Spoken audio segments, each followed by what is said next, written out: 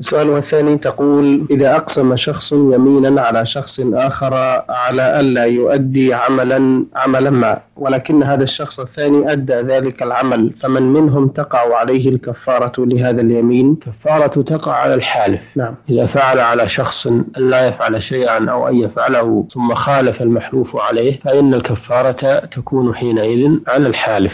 نعم. والذي فعل المحلوف والمحلوف عليه لو فعل ذلك مع علمه بالحلف يقع عليه إثم. النبي صلى الله عليه وسلم أمر بإبرار المقسم. نعم. فينبغي للمحلوف عليه أن يبر بقسم الحالف. فإذا خالفه يكون خلاف الأولى والأفضل. نعم نعم.